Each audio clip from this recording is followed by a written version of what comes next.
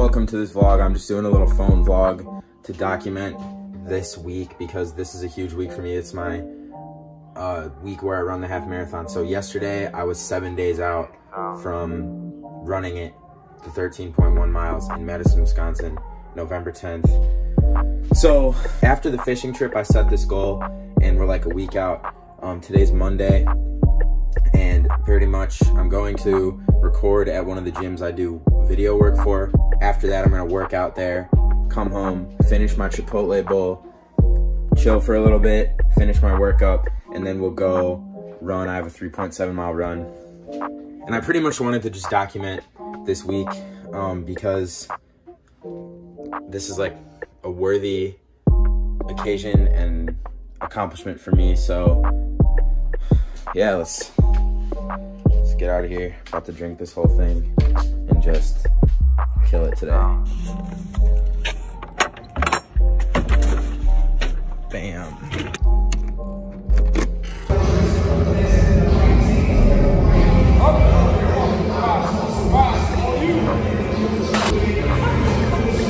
Let's get it, kid. 225. Thought this would be cool to document, but I'm two days out, having a little coffee, popcorn with one serving of olive oil and some garlic salt, one serving of popcorn. Being more mindful of my food as the run gets closer, and then um, today is the last workout. I have a mile run and like a full body like workout. I'm just gonna do some kettlebell stuff and mace stuff, and then I won't do anything until Sunday. So I'm like 36 hours away. So I'm feeling good. Feeling this popcorn's good, man. Feeling good.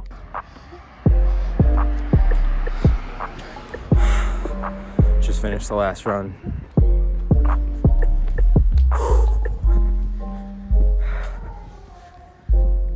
So I just finished the last workout of prep. So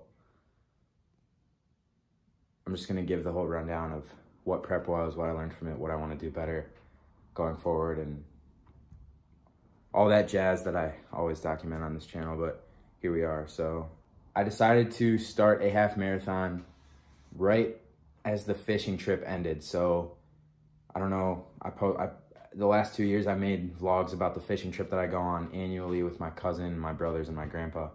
Um, we that finished the sixth, and I think on the way home we left like the seventh or the eighth from where we were at to coming back to where I live, and I was like looking up half marathons. I knew this was the time I wanted to do it when it's like getting cold, but it's not winter yet, and um, so I was searching for half marathons around this time because I had decided to do one, and I I hit up my friend who has done two marathon or has done a marathon and asked her how she like trained and like knew what to do. And I downloaded the Nike app which was recommended by her the Nike running app and it gave me a program and pretty much picked out a half marathon.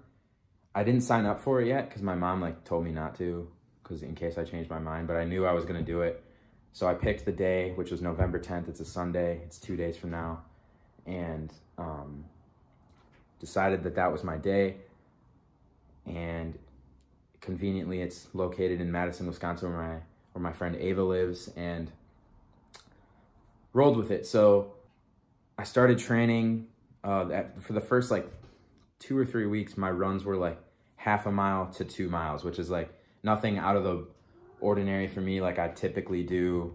Hello, cat. In my running history, I've done anywhere from one to four miles. I, I think the longest run I've ever done. Every Thanksgiving, I do a super long run for no reason. And last Thanksgiving, I did like six miles. The Thanksgiving before that, I did like seven. So nothing out of the ordinary. I'll probably do it again this year. But um, the the hard thing for me was when the runs started to get longer and more frequent. So like when the when I started to have more than one two or three mile run every week. And that's when I like that's what I looked forward to. I honestly looked forward to that suffering. I looked forward to the like conquering something and training for a goal and being serious about it. And at first I was taking my nutrition seriously and I was hitting all these runs and my nutrition faltered and I was never able to like figure out a good nutritional scheme and stick to something. And that's, uh, and that's always been a problem of mine since I started like my fitness and since even before I started working out, eating was always my issue. Working out was always something fun to me because it's like a game. You always get to progress. One day I run two miles, the next day I run three, the next week I run four. Uh, two weeks ago I ran an eight and a half mile run. That's always super easy to me. Now, what I regret about this prep is that I left so much on the table with my diet that I because I didn't take it seriously. And I know that let me back let me backtrack. My goal is to run at a nine minute per mile pace, will, which will get me just under two hours in the half marathon. What I think is going to happen because I didn't take my nutrition seriously, uh, is that I'm going to probably run it in like two hours and ten minutes at like a 9:30, 9:45 pace. Um, and then I'm not. That's not super unfortunate to me. Like I'm not beating myself up about it because I am still going to run the half marathon, and that was always the priority. But um, just knowing that I left stuff on the table is kind of making me annoyed with myself. Um, but that's something that this prep is teaching me. Like nothing is, nothing, of, why would anything go to plan? I've never done this before and everything works, everything gets better through failure. So I am going to run the half marathon and I am going to take things from this and learn from it and do something better next time I train for a half marathon. And that's how I try, that's, I try to apply that to everything. And the key here and my, my goal for the actual race now that I'm done with prep and know kind of where I stand is to run it as fast as I can, but more importantly, to enjoy the process and really just like be ever present in the moment from when I leave to drive to Madison, which is where the race is, to picking up my race packet, which will include like my shirt and my number, to like documenting it, to putting up like picking out the outfit I'm gonna wear when I run, cause like based on the weather and stuff, and um, starting, um, you know, how I feel at the beginning, how I feel towards the end, how I feel when I finish. Like a lot of times recent lately like so much stuff is happening and there's so much more responsibility on my plate that when something good happens i'm thinking about the next thing i'm not really being present the other day i got a text from a buddy like explaining how like how i inspire him and like he's been keeping up with my content and like super flattering stuff about how he's like rooting for me and it I, I have a hard time soaking that stuff in because like yeah everything is going dope on every like i'm getting clients my movie's premiering at lake theater like everything i could ask for but what my problem is is being present and really enjoying these moments of like stillness and just soaking in the joy of what i'm doing because what i don't want to do is like do stuff and then look back on it and be like damn i wish i really enjoyed that more while it was happening because like I don't know, that's just a, there's no point to doing stuff if you're not enjoying it while it's happening. And I'm not saying I don't enjoy what I'm doing. I'm just saying I could definitely do better at being more present.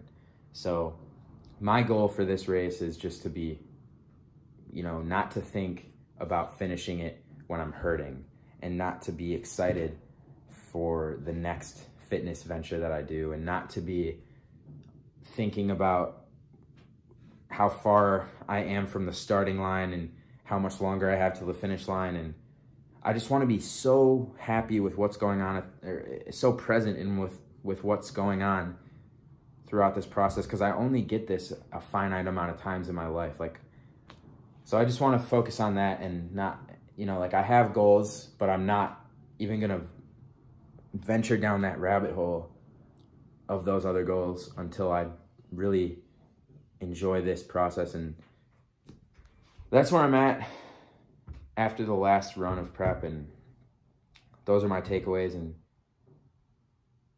definitely like a positive experience for me. Running helped me edit my documentary. Um, when I like I used running as a tool to get creative. Like I would be like working and and editing all day and then I'd go on a run to re-energize myself to start editing my documentary for that day. Because like I would be doing client stuff for hours and be so tired looking at the screen and then go on a run and that would be like a spike of, that would be like a caffeine spike. Like running was so crucial to my like it was so woven into the process of my documentary being edited that I will like forever hold a spot for it because it just and I will always keep doing it for that reason. Even if I don't always run half marathons or if I don't ever run a marathon I will always weave this into my process.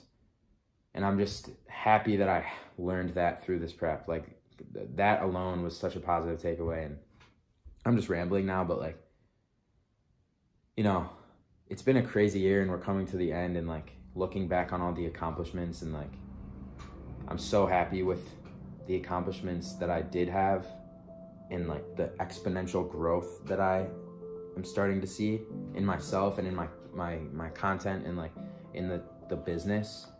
But now it's about being present and happy in these moments because I, I get so much anxiety sometimes from like not being that and I want this run to be like the starting line for that for the rest of my life. So oh, I'm to stop rambling because I could go on and on forever about the benefits of running a half marathon and would I recommend it? Yes, totally. If that's something your body is physically capable of doing, which it is for most people, unless you have like a debilitating physical impalement, I would try something like this because it's awesome. But uh, thank you. I'm happy for this prep, and I'm excited to keep documenting the whole run and just everything until I get home from Madison. So here we are.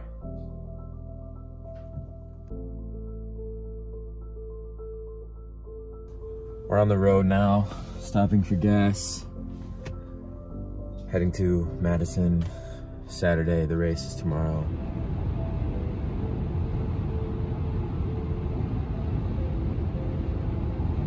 So I just had a like a chicken wrap, had a lot of veggies in it, uh, grilled chicken, uh, and then chips on the side just cause like there's a lot of nutrients in that. And uh, also everything there I, that I just said is really easy to digest and it won't like bother me tomorrow morning. And also earlier today I had like a salad with like sweet potato, um, spinach, roasted chicken, just a bunch of like really healthy stuff, and then a and then like a super fruit smoothie. So that's how I ate today. I feel actually like super good. Like I definitely want to eat like that more, but I feel like primed for the race. And I've got these like salt packets that'll keep me running tomorrow. But tomorrow morning, we're gonna wake up. I'm gonna get my race outfit. We're gonna head there.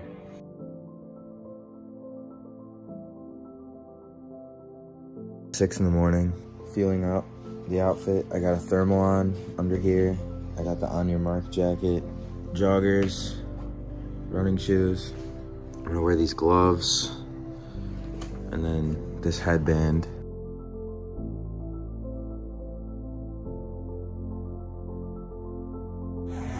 Once again, congratulations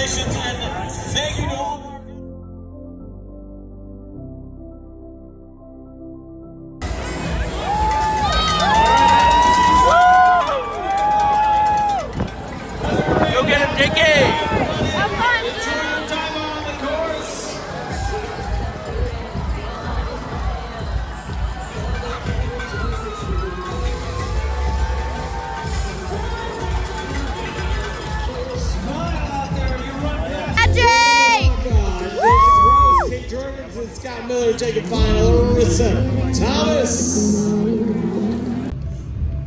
All right. Did it. Check. My goal was to do it in like two hours, but factoring in the hills, I got 205 and a half minutes.